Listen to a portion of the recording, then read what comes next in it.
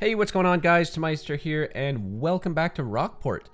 In this episode, I'm going to start to sprawl out a bit from downtown and I'll be building a neighborhood between downtown and our main arterial highway running through the city.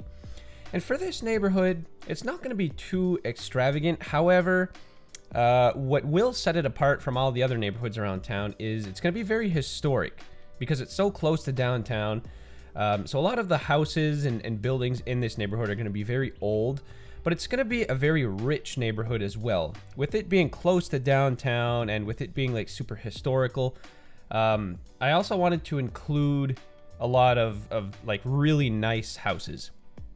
And and my idea for this neighborhood too was to make it like a sort of government official neighborhood. Like a lot of the the city's officials would live in this neighborhood, like the mayor and and all the city council maybe uh, would be in this area, just because of its location and and because of its significance. So that's the uh, the sort of idea I was going behind with this.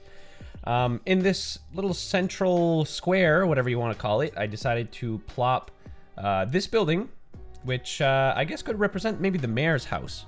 You know, it's it's right smack dab in the middle of the city, right downtown. So it's a, it's a really cool location. And most of what you're going to see in this episode is all low density buildings. Um, so I'm finally shying away from all the high density big skyscrapers that I've gotten used to plopping over the past few episodes in the, the downtown area.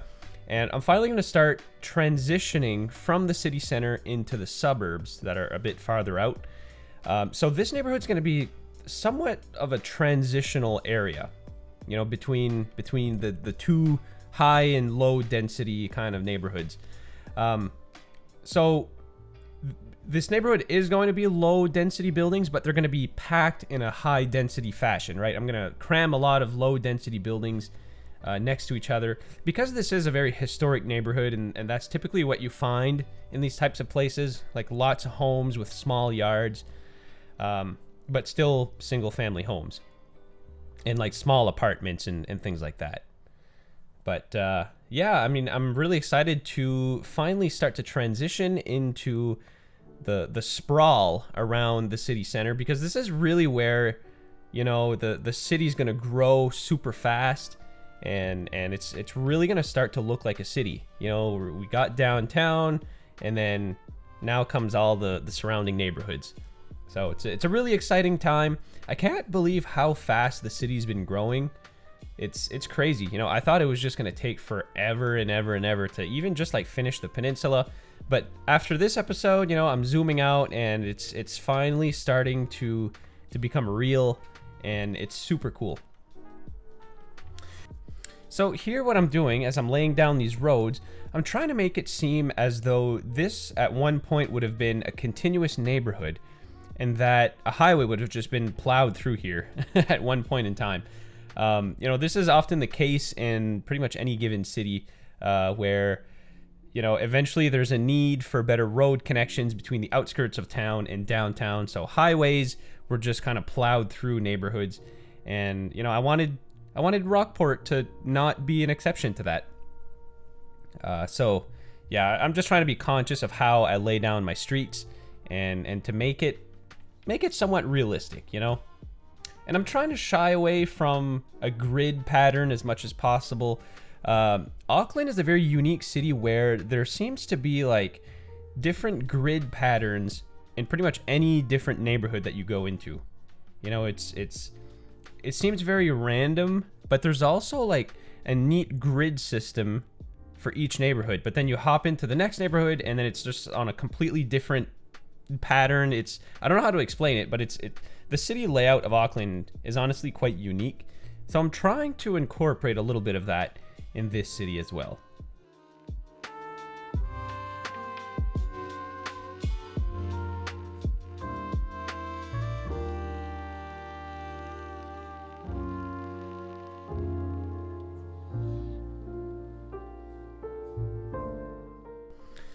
So when you're playing with only vanilla assets, you are kind of limited on the amount of houses that you have at your disposal. Um, although it, it's pretty good now with all the DLCs that you know have and all the buildings that have been added to the game. it's not bad now. Uh, but still, you know, I'm, I'm still kind of in that mode where when I was playing some of my modded series, I had literally access to unlimited buildings, right? I could just go on the workshop and download a complete set in whatever style I wanted, and, and away you go. Uh, but in the vanilla game, you are a little bit limited. So um, it was a bit of a challenge in this neighborhood to choose what houses I wanted to plop, and I didn't want it to look too. Uh, I, I didn't want like too many identical buildings, so I, I decided to include a good mixture of of different houses from different DLCs. So you can see here that I'm using some of the university uh, style residential buildings, a lot of the vanilla buildings, and some of the European suburbia buildings. So I'm trying to to like mix them in in a way where it doesn't it's not like too apparent that the theme is is totally different, right? So I, I just want to like create a, a blend of all these different styles of buildings. Uh, but exactly what I was saying earlier in this episode, this is a very high-end, like rich neighborhood. So I am including these large villas in this uh, in this neighborhood too, which is mostly going to be unique to here and maybe a couple of other neighborhoods that are, are kind of like straddling in the mountains. But yeah, this is going to be a really diverse neighborhood. And because it's it's a historic neighborhood, I want to include a lot of mature trees. So you can see here that I included a lot of tree-lined roads. Um, at the end of this episode, I will be going over this area again and pretty much plopping these huge trees wherever I can. Just because I want it to, you know, have that that historic feel, right? These old 200 year old plus mature trees everywhere. I, I just love these kind of cozy neighborhoods that are just kind of nestled into the trees. And I'm really excited too to, to start to get into some neighborhoods in the future that are nestled into the mountains. Because the first neighborhood that I built in this series was honestly really fun to build. Kind of challenging too, because, you know, of course, you're dealing with a, a challenging terrain. But yeah, and as the city expands, I, I'm really excited to carve out some neighborhoods into the mountains and create like some Hollywood Hills ish uh, places. So that'll be really cool.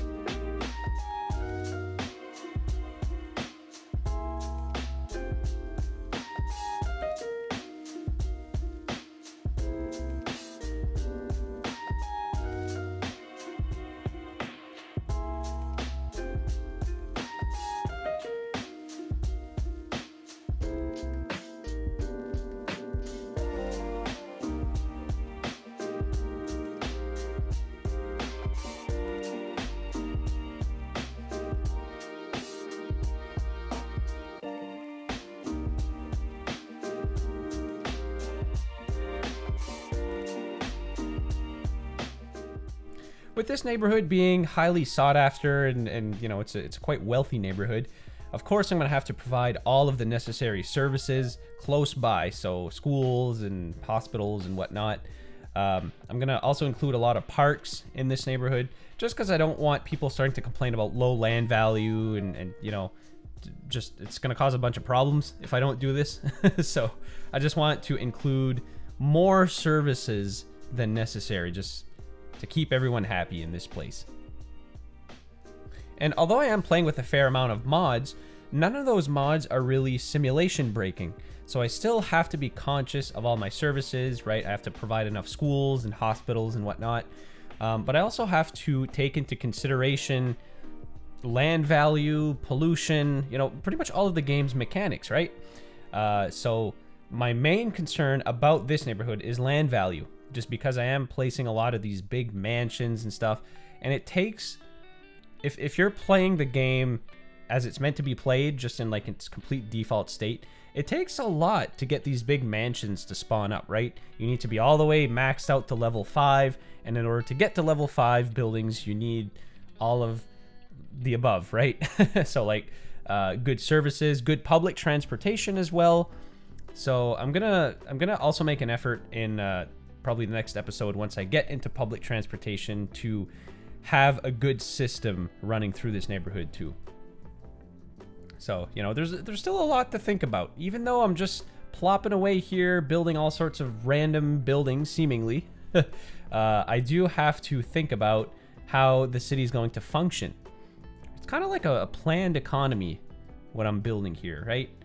I'm like planning a functional city rather than just letting it grow organically.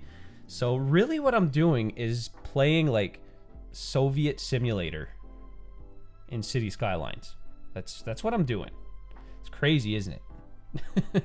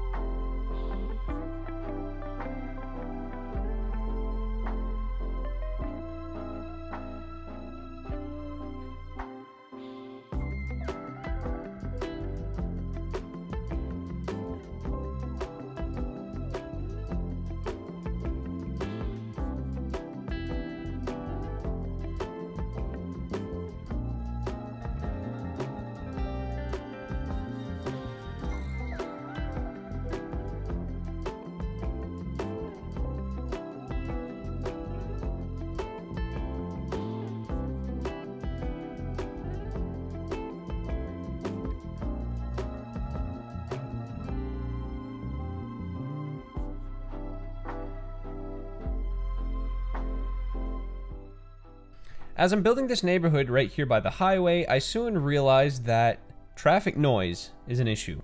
Understandably, right? I mean, you got a big highway running through your backyard. Of course, it's going to be noisy. Um, so unfortunately, a lot of these people are complaining of road noise and they're just constantly falling ill. There's not a whole lot that I can do about that, honestly, because I, I really wish there was um, sound barriers for elevated highways. But unfortunately, in the default game, there's no such thing. Um, so yeah, I guess these people are just gonna have to deal with the noise. and I'm, I'm probably just gonna have to build a nearby clinic or something because these people are just gonna constantly be in and out of hospital with all sorts of road noise related illnesses. Uh, so I'll just have to make healthcare like super accessible for these guys. Um, and yeah, as I was building this neighborhood, I suddenly found myself with a lack of water, uh, which is not ideal.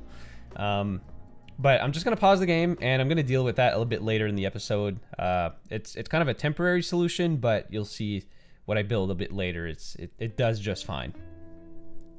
But yeah, I, at one point in the series, I'm gonna have to build a second water pumping station or, or something like that to uh, to get some more water into the city.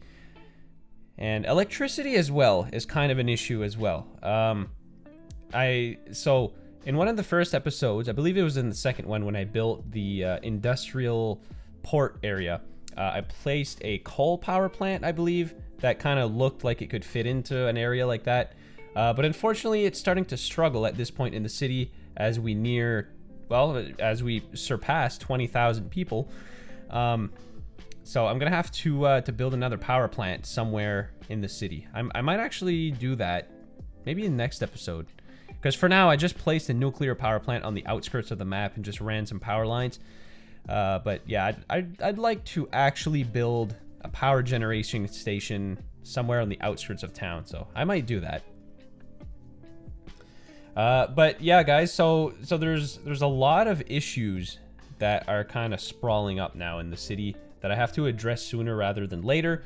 Um, so uh, all my basic services, such as like schools and hospitals, fire and uh, police protection, are okay. I made sure to uh, to provide lots of that. But what's struggling right now is power and water, but also traffic. Right, so uh, traffic is becoming a huge issue in the city. If I look at my traffic menu, the whole downtown is just red. Uh, I have zero public transportation, and I know I've kind of mentioned this uh, a few episodes ago, but I think I think it's it's kind of the city is in dire need of at least a bus network or I mean I could get the metro running too. All the stations are placed down, so there's no reason why I couldn't do that. I might actually do that next episode, guys. Start to get a public transportation going and uh, improve the efficiency of the city. But anyways, hopping on over onto the other side of this main avenue, um, I'm going to start to build a new neighborhood. And this neighborhood is going to be kind of similar to the one I was just working on, uh, but it's not going to be as sought after, I guess. Um, not going to be as rich. Most of the houses that you're going to see in this place are uh, European suburbia, so just, you know, regular houses, nothing out of the ordinary. However, I can see this area still being quite expensive due to its location. You know, we are still pretty much downtown. Um, so it's it's going to be a pretty cool spot. I started it off with this uh, retaining highway barrier here. Um, and it's kind of a unique feature of this area. But I really like it, you know? It, hopefully this helps with road noise. I, I, I don't think it will, but uh, hopefully not too many people are going to complain about highway noise uh, that are right beside the highway. Oh yeah, and another thing I tried to do in that other neighborhood is to place trees between the houses and uh, and, and the highway, but it's I, I just don't think there is enough space to really cancel out the noise. There, there's nothing I can do. I've accepted that. But yeah, this neighborhood is, is kind of cool too. Um, it's close to the stadium and uh, the nature park.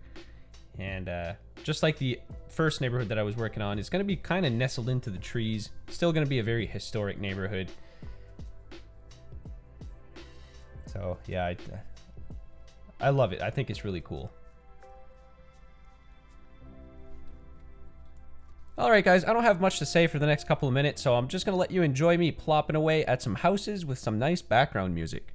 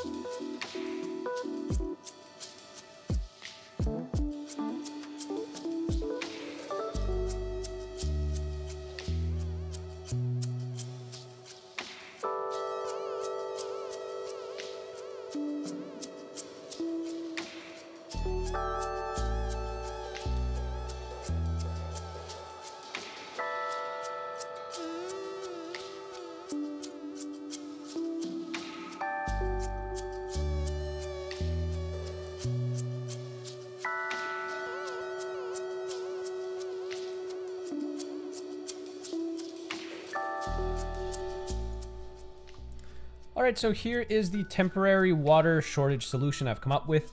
Um, it's nothing complicated. I'm just gonna plop a large water tower over here in the very corner of downtown between the railroad tracks and the street. Um, you know, it's kind of an odd shaped lot and it's not ideal for any residential areas or anything like that. So I thought this would be the perfect place for it. And plus it's right by a high school and the high school is really going to fill in the rest of this, this weird shaped lot. Because um, this area needed a high school. I only had one other high school in downtown. So I knew that capacity was probably going to become an issue. Uh, so I think this is a perfect spot for a high school.